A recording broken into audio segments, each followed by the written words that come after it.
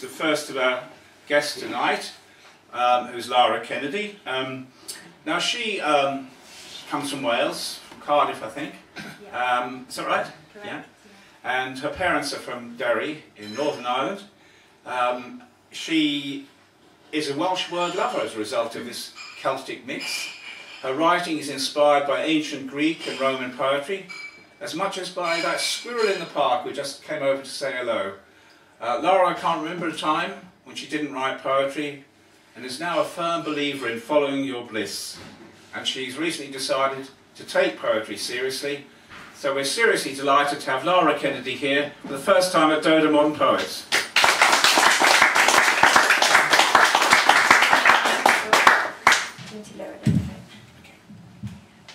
Thank you for the introduction.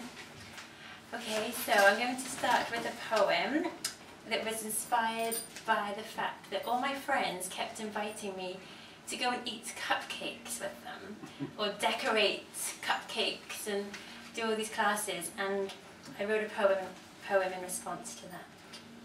It's called Life is a Cupcake. Life is a cupcake, but please go easy on the icing. All stuff and nonsense, all fluff and no substance. That bit of sweetness is bitterness for that bit of me that beats my heart, that keeps me alive. Sure, the icing is a feast for the eyes, but the disguise cannot hide that it leaves us empty inside. Human cannot live on icing alone. Bones will become, and it will hold on to its hollowness, for that too is on loan. The competition is for the thickest icing, for the latest clothing, for the highest building, from the top of which you can no longer see the earth below. Quietly and confidently, the cake underlies all. All that we are, all that we always will be. And a surprise may arise, a currant, a walnut, or better yet, a chocolate chunk. Moments of true tasting, a taste tasted not by the tongue, but by that which gives us the power to taste. There are those content to leave the cupcake on the shelf, to look through a pane of glass, avoiding any pain, gain, or change of any sort. And there are those for whom the crumbs are the only thing. They do not lift their eyes to see what might have been. And then again, there are the bakers. Whatever's left in the cupboard, no recipe, just come for tea. It's all carefree, homemade is the key. But there are those who take a bite. Lips parted, tongue down, they are careful to consume the cake in its entirety. No crumb will be forgotten in these cases. Life is a cupcake, but please go easy on the icing. The spice I choose to taste, not seen, only felt.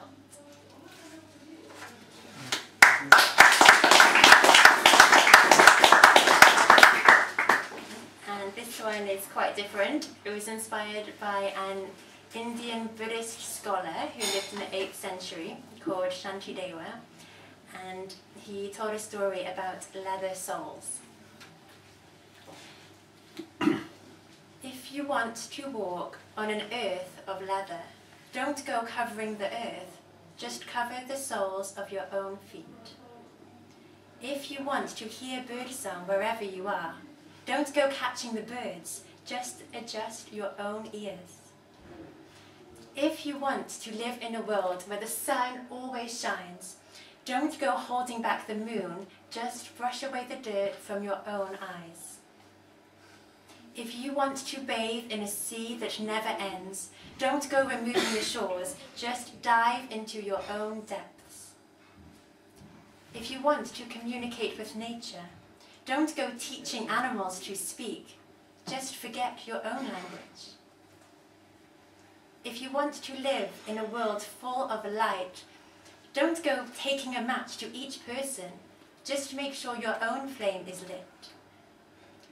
If you want everyone to understand you, don't go persuading their minds, just see in them your own self.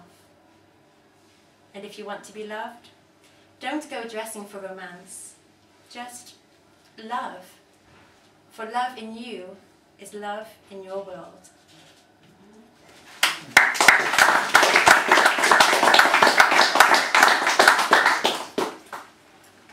Where is it?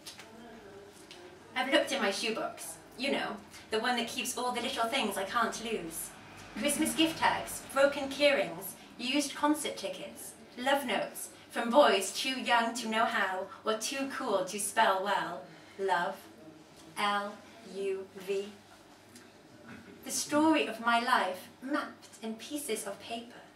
When the glue of my breath is no more, they will be easily burned, easily torn, easily dropped on the street, the ticket for somebody else's lottery. But what I'm looking for is nowhere to be seen. My memory fails me. I don't know what it looks like. But I know I'll know it when I see it. When I see it, I'll feel it. I'll feel it somewhere so far within me, it will feel as far away as the sun. And maybe that's it, the sun. But the sun is not in my shoebox. Then where? Maybe it's the box itself. Maybe it's the feel of the cardboard. Maybe it's the reading of the logo. Maybe it's the touch of the carpet against my kneeling knees. Or my blinking eyes. Or my slow breath. Maybe it's in each moment. Yes, this one, right now. Mm-hmm. Mm-hmm.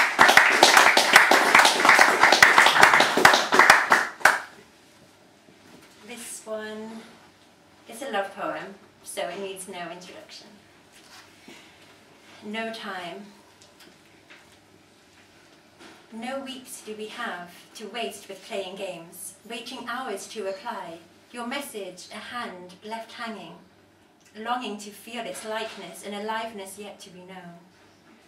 And absent is another hand, one that crawls on all fours, each step a second, no tick, no tock to entertain my ears and soothe my fears that I may never hear the phone, the fanfare for your voice.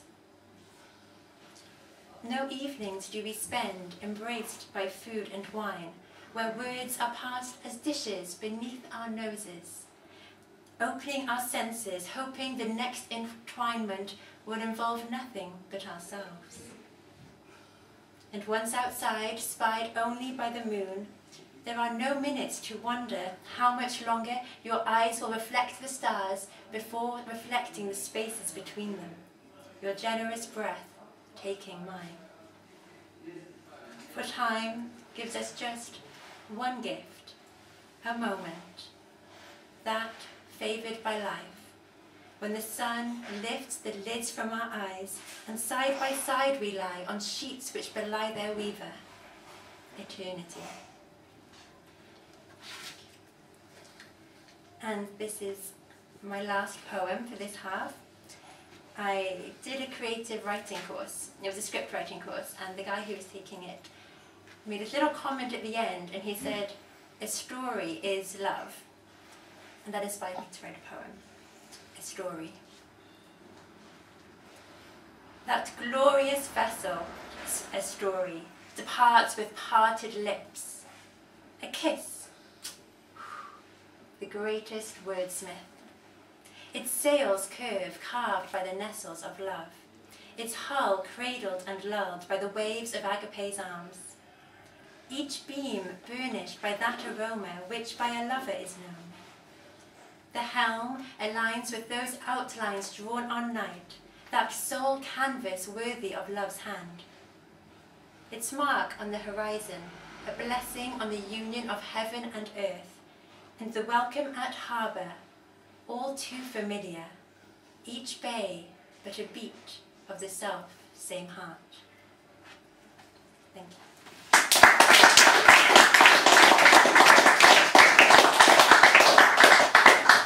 Very, very beautiful opening set there from Lara.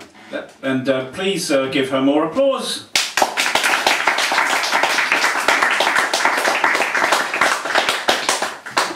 Lara will be back in the second half. Um, our next uh, performer tonight is uh, Claire Molly, and uh, Claire was born in Bradford